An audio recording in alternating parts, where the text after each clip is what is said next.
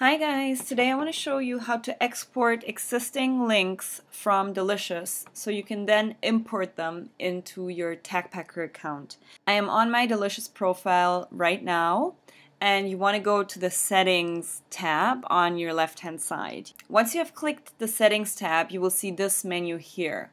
From here you'll click on manage and then you can see the option export bookmarks. Once you're on the export page, you get the options to include my tags and include my notes. We definitely recommend to include your tags because that is what will sort your existing links on TagPacker as well. You just hit export. Once the export is done, you just hit the done button.